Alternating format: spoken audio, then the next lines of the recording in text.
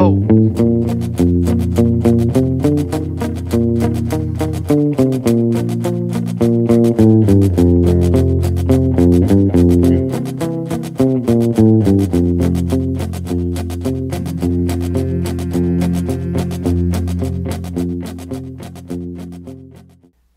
To the Smelly Tele. Today we're going to be learning how to play I Walk the Line by Johnny Cash. This is one that was voted in specifically by all of you viewers out there. It was in the polls and you guys picked it. So this one's for you. Please make sure to hit the like and subscribe button. If you want the tabs, you can head over to Patreon. You're going to get the tabs and the practice tracks there. That's enough talking. Let's go play some guitar. First thing we want to talk about is making sure we're muting the strings with the side of our palm here. We're going to put the side of the palm right on the bridge of the guitar. So you want to lay that palm in there. You don't want to be too far up the neck because you'll get a muted sound. You won't get any kind of musical sound out of it. You want to back up your palm until you start to hear the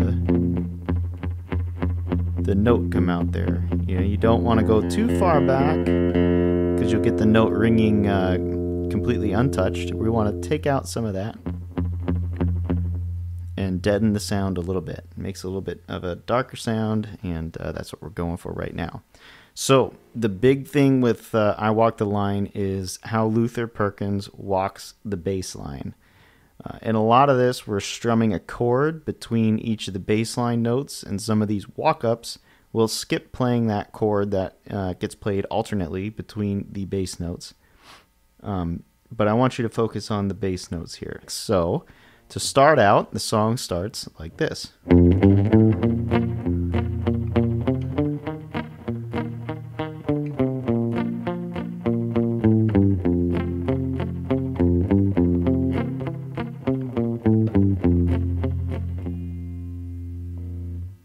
So, what we want to do is we want to walk up to our first A chord. We're going to start with a low E, second fret, fourth fret, and the A note. You're going to put your chord down with your fretting hand, and then you're going to play your chord. Low E chord. Now we're going to walk up to the E. So we got an open A note. Then we got an open A, second fret A, fourth fret. Then we're to the D chord. Open D, play your chord. Open A, strum your chord. Open E. Now we're going to walk down to the A. Open D, fourth fret A, second fret A, open A, strum your chord. Second fret D, strum your chord. A. Now we're going to walk down to the E chord. A, fourth fret E, second fret E, open E, strum your chord, second fret A, strum your chord, second fret A. Now we're going to go to the B7. We're going to play an open E, second fret, open E, then put the B7 chord down with the fretting hand, second fret, A, strum your chord, first fret D, strum your chord, second fret A. Now we're going to walk down to the E chord, open A, fourth fret E, second fret E, open E, strum your chord, second fret A. We got open E, second fret A, E, second fret A, E. This is a B note, B, E, B, E, B, E. So when we do this lesson, this is how I'm going to teach this. I'm going to talk the bass lines. We're not going to highlight every single chord strum, okay? And the reason we're doing that is because Luther Perkins' bass notes in this are the key. The strums, um, if you're a more advanced player, they should be easy for you to pick up. If you're a beginner, just learning the bass notes and how they walk is going to be uh, just fine for getting through the song. So as we approach the first verse, we're going to play the B7. Uh, so we got I keep a close, second fret A, first fret D, second fret A, first fret D. Then we're going to go to the E chord. Open E, second fret A. Open E, second fret A. I keep my second fret A, eyes, first fret D, second fret A, first fret D. Back to the E chord, open E. Second fret A, open E. Then we're going to walk up to the A. We got the second fret of the low E, fourth fret E. Mm. Then we got the A note, open E, A note, second fret D. Then we got the E chord again, open E, second fret A, open E, second fret A, then a B7, second fret A, first fret D, second fret A, D, then we back to the E chord, open E, second fret E, then we walk up to the next uh, key. So we're going to the key uh, of A. We're going to play the open E, second fret E, fourth fret E, then we got A.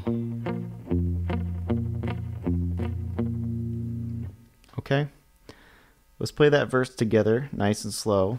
Uh, I'm going to strum the chords between the bass notes. Uh, again, if you're a beginner, just worry about the bass notes. Don't worry about strumming the chords. If you're more advanced, you want uh, something that's a little bit more challenging, go ahead and flat pick this out. Uh, play your bass notes and alternate with the strums. Okay, let's take this together nice and slow. Okay, one, two, three, four. First verse. I keep a close watch on this heart of mine. I keep my eyes wide open all the time. Baby ends out for the tide that bites because you're mine. I walk the line, walk up to the next scale. Next key, I'm sorry. Now let's go to the uh, the second verse here. Okay, the second verse sounds like this. I find it very, very easy to be true. I find myself alone when each day's through. Yes, I'll admit that I'm a fool for you because you're mine. I walk the line. Okay, and in this verse, uh, we're going to start out with the low E. We're going to alternate between the E and the second fret of the A. So I find it very, very easy to be. Then we go to the A chord. True. Now, you might think it's easier just to continue with the same pattern on the E chord where you go low E to the second fret A. But Luther goes from the second fret A to the low E here. Okay? That's a change. That's a very interesting thing that he did. It makes it interesting to listen to because instead of what you expect, you get this. Very subtle difference. Not huge, but you'll notice it when you listen to the record. So, second fret of the A, open E. Second fret of the A, back to your A chord. Open A, open E. Open A.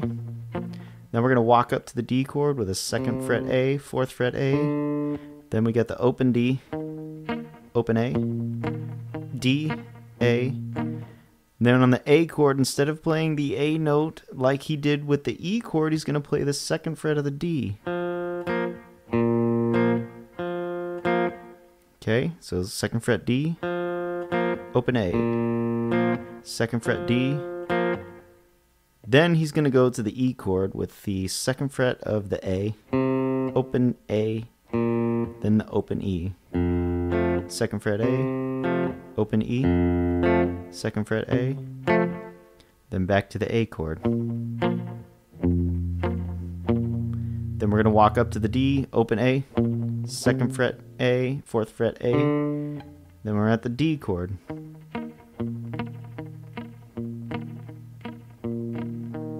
And all that is is the D note alternating with the A note.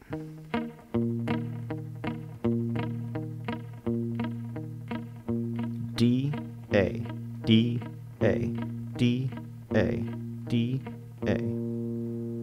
Okay, let's play the uh, second verse nice and slow together. Two, three, four. Here we go. I find it very, very easy to be true.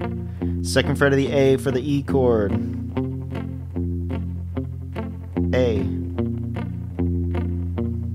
Up to D. Second fret D for the A chord.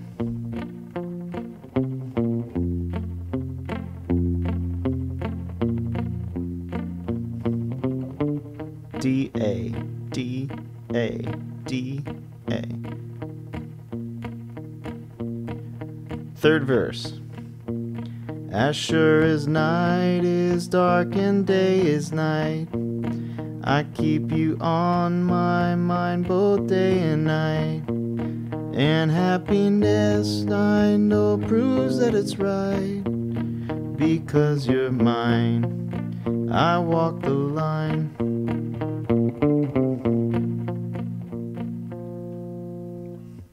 Okay, so to play that, we're starting with the D chord and we're going to the A. So we got. We talked about the D alternating with the A note already. Then we're going to go to the A chord. A. We're going to alternate with the second fret of the D. Okay, so that looks like this. A, second fret D, A, second fret D. Then we just got the D chord again with the alternating D note and A note.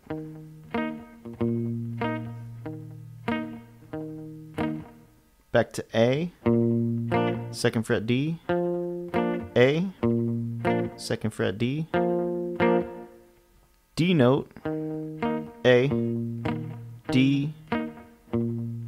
Then we got the G chord. The G is going to be the third fret of the E, then the open D, third fret of the G, second fret A, back to the D chord, D and A alternating. Then we're going to walk down to the A chord, fourth fret A, second fret A, open A, second fret D, back to the D chord. Then the walk to the A chord on the fourth verse. This is a new, it's, I mean, it's the same walk down, but instead of uh, going straight into it, he's going to play the A note, fourth fret A, second fret A. So what's interesting to me about that is instead of just going, he goes. He kind of throws that pickup note of the next chord, the A, to walk you into that walk in. Ah, I don't know. It's cool. Okay, and then we were just playing A, alternating with the second fret of the D string, going into the fourth verse here. And the fourth verse sounds like this You've got a way to keep me on your side.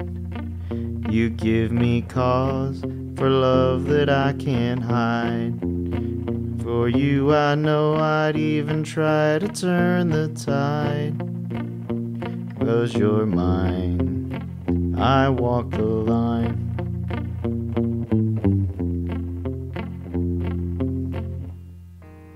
So this one's actually pretty straightforward. There's not too many changes happening here. So when you hit the first E chord, you've got a E alternate with the second fret of the A. E, second fret A. Then we go to the A chord, just to open A. Second fret D. Then we've got the E chord again, same alternating, open E, second fret A, open E, second fret A. Then we're back to the A chord, open A, second fret D, open A. Then we're going to walk up to the D chord, second fret A, fourth fret A, open D, A, D, A. Then we're back to the A chord, A, second fret D, A. Then we're going to go down to the E chord. Second fret A, open A. Then we play the E, second fret A, E, second fret A, A chord, A, second fret D. Then we're going to walk down to the final key, open A, fourth fret E, second fret E, then we're back to the E chord.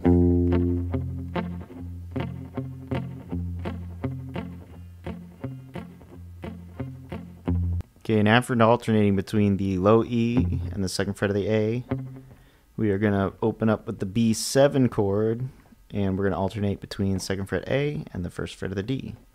So I keep a close watch on this heart of E chord. Second fret A, E, second fret A, B7, alternate between second fret A and first fret. Open all the E and alternate with the second fret of your A. Then we're going to walk up to the A chord, second fret E, fourth fret E, A chord, and we're going to alternate with the second fret of the D. So here comes the A chord.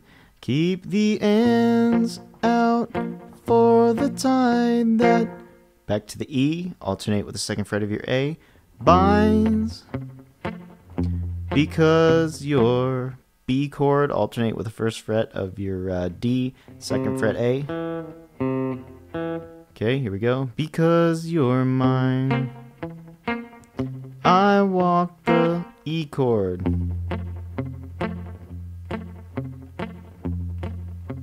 Then the song just fades out.